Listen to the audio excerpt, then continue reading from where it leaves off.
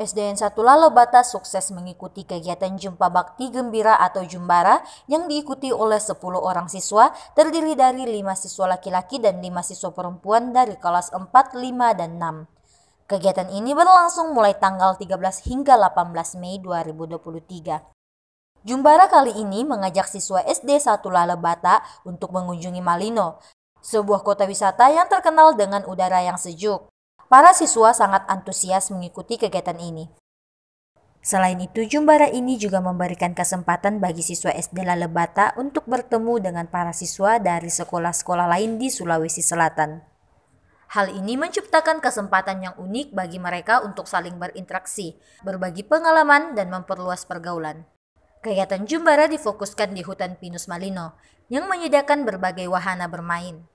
Para siswa terlihat gembira tatkala bermain ular tangga bersama, menunggangi kuda, atau yang sedikit ekstrim dengan mencoba sensasi flying fox yang begitu seru. Jasmar, salah satu guru pendamping, menyatakan kegembiraannya atas antusiasme siswa. Dia mengungkapkan bahwa para siswa sangat senang dan menikmati kegiatan ini, terutama karena mereka dapat menikmati udara segar Malino dan mengeksplorasi tempat-tempat menarik di sana. Alhamdulillah tanggapan siswanya sangat senang pergi ke Malino karena memang tempat wisata dan sangat sangat sangat dingin. Dan suasananya juga bagus anak-anak uh, istilahnya saling berbagi dan kepentingan lain karena misalkan se Sulawesi Selatan dari 24 kabupaten kota di Sulawesi Selatan.